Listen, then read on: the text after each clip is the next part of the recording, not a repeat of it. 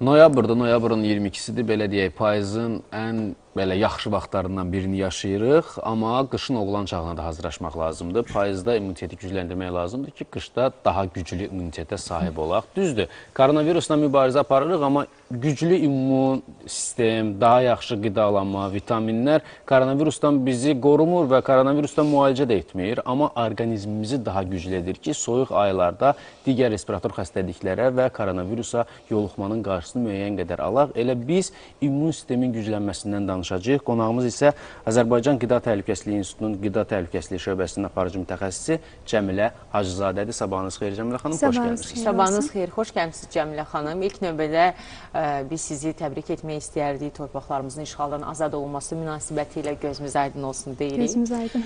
Bəli və bilirik ki, bizim digər bir mübarizəmiz də var. O da COVID-19 adlı bir virusladır ki, ə, bu cəbhədə də mübarizə davam edir və təəssüf ki, son günlərin statistikasına nəzər salsaq, bu mənfi tendensiya müşahidə edilməkdədir.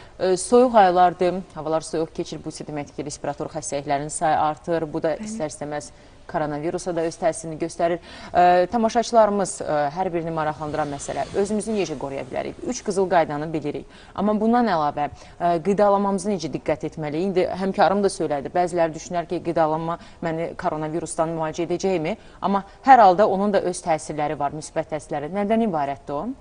Mən bir daha sizi salamlayıram. Ekran qarşısındakı tamaşaçıları da bayramımız bir, bir daha mübarək. Sizlə bağlı.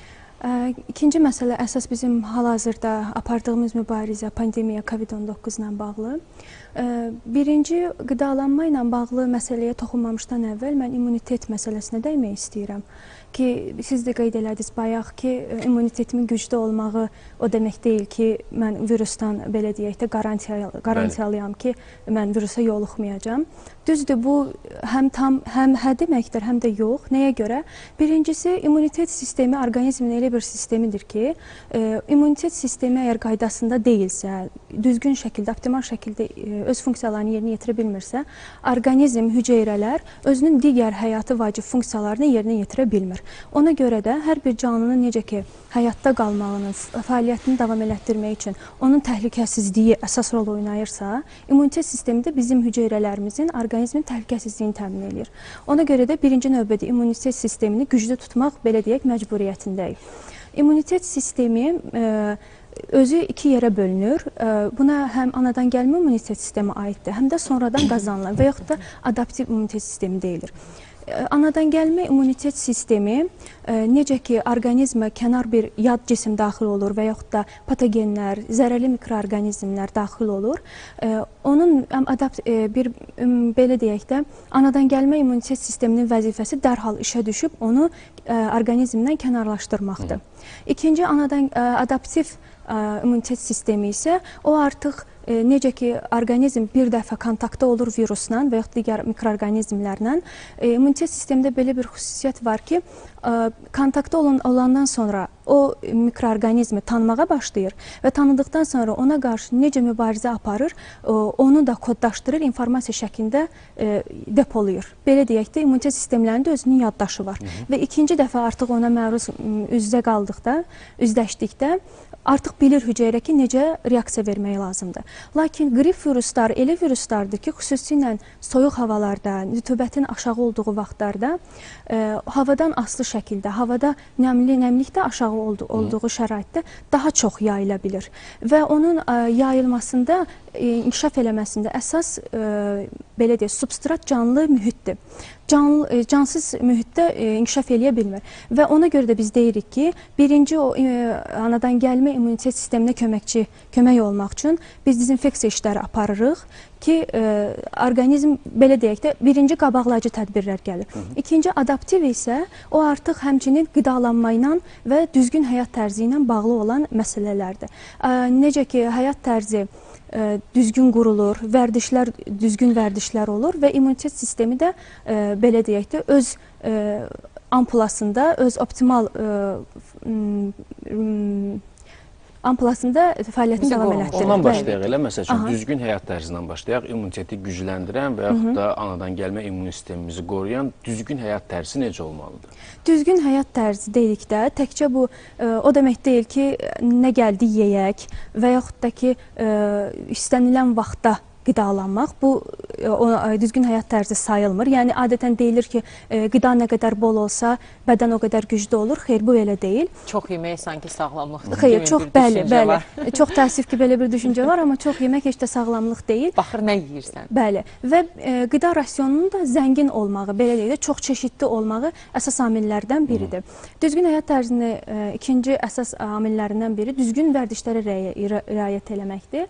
Bu düzgün vərdişlər siqaret çəkməkdən uzaq olmaq Səhiyyə Nazirliyi deməkdir. xəbərdarlıq Bəli. eləyir, siqaret çəkmək bizim sağlamlığımıza ziyandır. Alkoqollu içkilərdən, xüsusən də e, faizi yüksək olan alkoqollu içkilərdən ağır belə deyək istifadə Cəmil bax bu alkoqollu içkilərdə mən bir balaca həmişə özüm üçün ha, şəxsən mübahisəli yaranıb məndən. Baxın, dezinfeksiya edici məhlulların tərkibində spirt var və biz immunitetdə gücləndirmək üçün, virusdan da qorunmaq üçün mütəmadi olaraq təbii sağlamlıq üçün, yəni qida tərkibli spirtlər deyil də onlar istifadə edirik.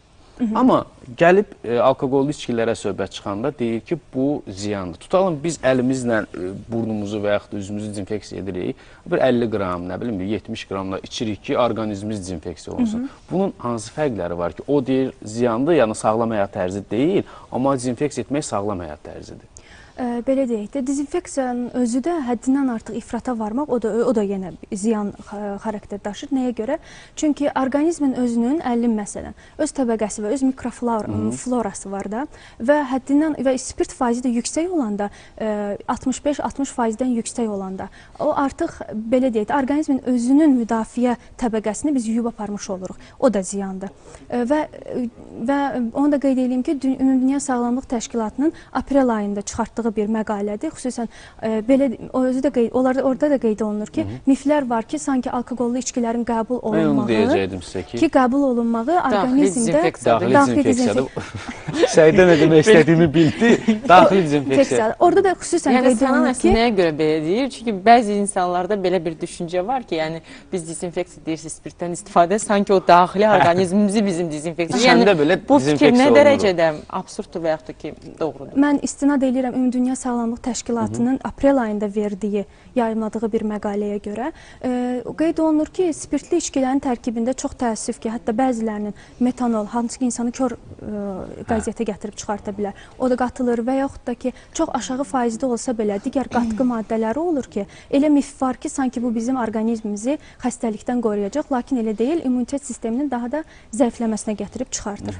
Ə, Bəli, ə, vaxtımız azdır Cəmilə xanım. Biz elə yaxşı olar ki, toxunaq onda o zaman o məsələ dedik nələr olmaz. Bəs ə, vətəndaşlar nə qəbul etməlidir ki, biz deyirik virusa qarşı müqavimətimizi gücləndirə bax, immunitetin gücləndirilməsi üçün bax onu təmin etmək üçün hansı qidalardan istifadə edək. Bir də bir məqam var ki, ə, xüsusən bilirik bu payız qış aylarında bir çoxlarımız vitaminlərə müraciət edirik. Düşünürük ki, qida ilə qəbul edə bilməyəcəyimizi vitaminlə hardasa bərpa edək o deponu. Vitaminlərin qəbulu nə dərəcədə doğrudur?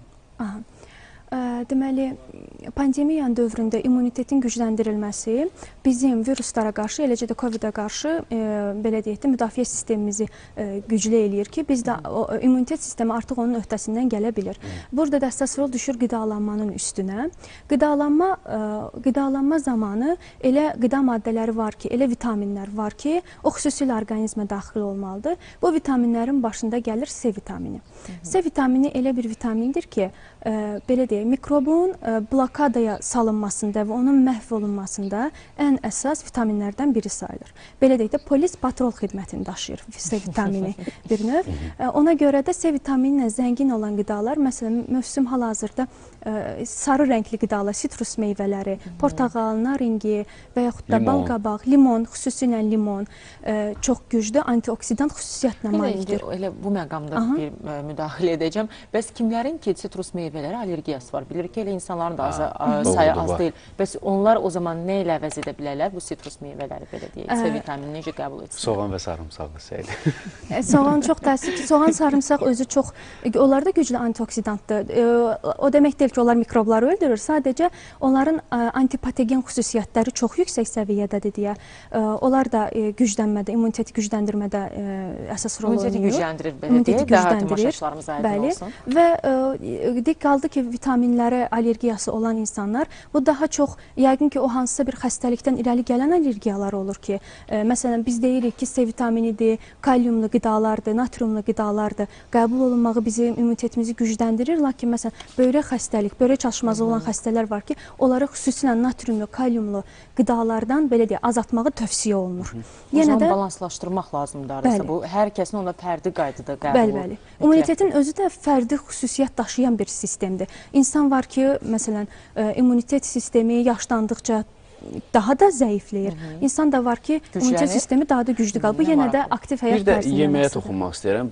Bu, bu da bir mif formasındadır ki, xəmir xörəkləri insanların ə, belə immunitetini gücləndirir. Məsələn, xəngəl, düşbərə, xaşıl ola bilər, nə bilim, səhər quymaq yeyə bilərik. Bu nə dərəcədə doğru? Çünki bizim məsələn Bakılı nənələrimiz, analarımız çox gözəl düşbərə bişirir, çox qəşəng qutab bişirirlər. Qəbz zonasında qəşəng xəngəllərimiz olur.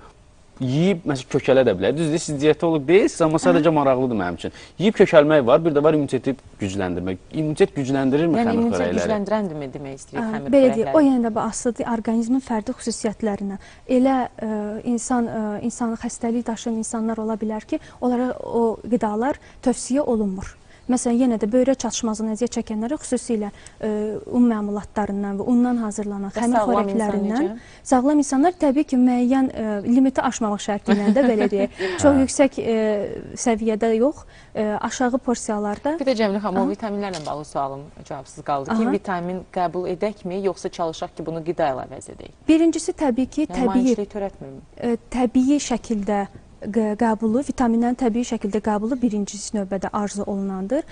Amma dediyim kimi, siz qeyd elədiniz ki, allergik ə, məsələlər ola bilər. O məsələlərdə isə ə, həkimlə məsləhətləşmiş şəkildə ə, belə deyək, bioloji fəallığa malik qida əlavələrinin qəbulu məsləhət uyğundur. Təşəkkür edirik Cəmilə xanım. Çox sağ olun gəldiyiniz olun.